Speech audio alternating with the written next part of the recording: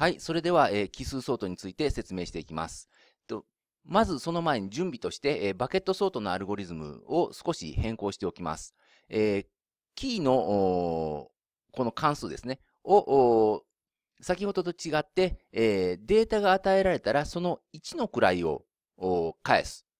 ような関数としておきます。で、それに合わせてですね、えー、1の位ですから、えー、0から9まで、えー、のバケツを用意しておいて、えー、データを左端から順に読み込んでいって、1の位を取得して、えーそれえー、適当なバケツに追加すると。そして、えー、最後、そのバケツを0から9まで順番に出力して終わりということになります。で、えー、では具体例を見ていきましょう。このような入力列が与えられたときにですね、え、P0 から PQ まで用意するんですけれども、まあ、画面の都合で、えっ、と、この4つだけ、書いておきます。でまず125が与えられるんですけれども、これは、えっ、と、1の位が5ですので、P5 に追加します。そして、えっ、と、900は、ま、えー、1の位が0ですんで、えー、P0 に追加すると。で、えー、以下、30300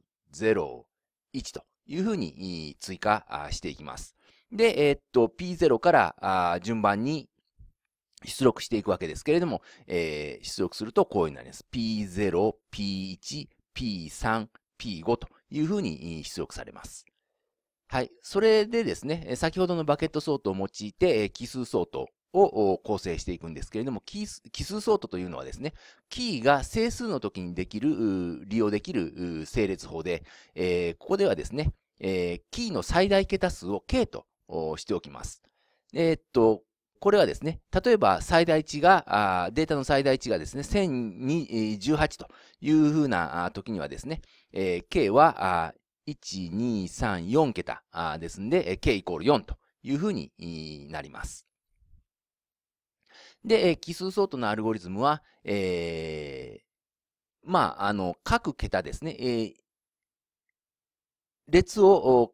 下から第 j 桁目、えー、で、えー、関して整列すると。で、この第 j 桁目というのは、1の時は1の位、2の時は10の位、3の時は100の位というふうに考えますね。で、えー、最大桁まで、えー、それを実行するというふうにします。で、この正しい以降なんですけれども、えー、まあ、j 桁目の値が同じ要素については、えそれらの順番が整列の前後で変わらないようにすると。まあ、こういった、えー、相当の性質をですね、えー、安定というふうに言います。で、こういった性質を備えたものを安定した整列アルゴリズムというふうに言います。では、実行例を見てみましょう。えー、まあ、先ほどの入力列ですね。でまず1の位でやりますと、えー、バケットソートで、えー、やったように、まあ、こういうふうに、えー、なります。で今度はですね、えー、バケットソートの10の位を返す関数をキーとしまして、えー、整列してやると、このようになります。で、100だとこうというふうになって、えー、最後、えー、整列がこれで完了するということになります。これ、あの動画を一度止めて、えー、追っかけてみ、えー、てください。はい。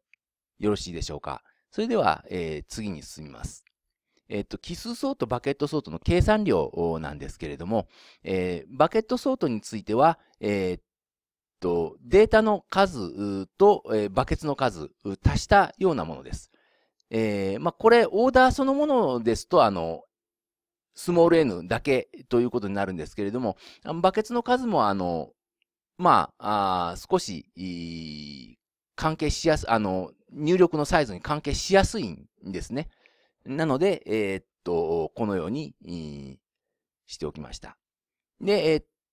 と、奇数相当についてはですね、まあ、kn と、オーダー kn というふうになりました。えー、しておきます。で、k というのは、あのまあ、先ほどやった、あの、先ほど出てきた K ですね。えー、AI、えー、と入力のデータの、えー、最大のものの桁数ということになります。で、えっ、と、これはですね、えー、まあ、N とは厳密には関係ないので、えー、オーダー自体は N ということになるんですけれども、まあ、あのー、そういうふうになっています。まあ、K と N 関係させるっていうシチュエーションはですね、まあ、自然に考えられるので、一応こういうふうに書いておきました。以上です。